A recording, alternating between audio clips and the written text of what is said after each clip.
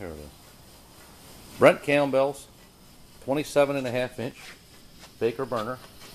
Still got to put the pilot door on, clean it up, utilize it. But we got the uh, got to put some stands on the vaporizer. But it's just sitting in there. We're just testing it out here.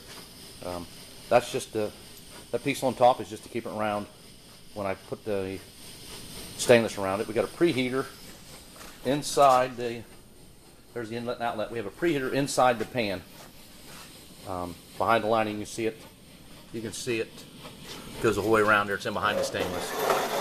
We use Fiberfax for the uh, insulation. You see it burned the glue out, stunk like heck.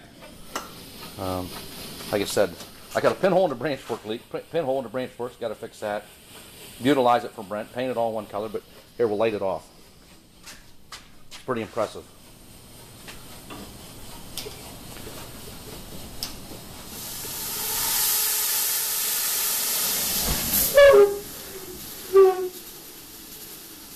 Calms down here in a minute. I think that's going to run his car. What do you think?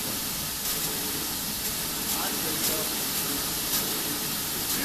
Pretty nice and even. 27 and a half inch Baker burner. Like I said, it's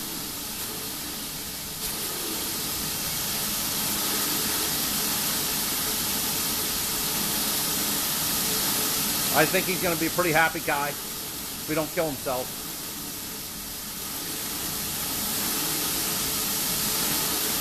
Don't whistle a bit, which I'm real happy. I hope it don't whistle in his car, but it burns nice. Hey, thanks for watching.